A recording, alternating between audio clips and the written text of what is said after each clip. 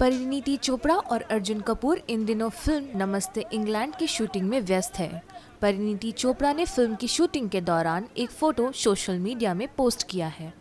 उन्होंने अपने Instagram page पर पंजाब के खेत खलियानों की फ़ोटो पोस्ट की है, जिसमें वे अपने को स्टार अर्जुन कपूर और फ़िल्म के निर्देशक विपुल शाह के साथ फुर्सत के मूड में नज़र आ रही हैं। फ़ोटो में उन्होंने कैप्शन लिखा है, पंजाब के खेत और लंदन की गलियाँ। साथियों के साथ शूटिंग का आनंद। अर्जुन और परिणीति दोनों तीसरी दफ़ा एक साथ काम कर रहे हैं। इससे पहले दोनों फ़िल्म इशक जादे और संदीप और पिंकी फरार में साथ काम कर चुके हैं।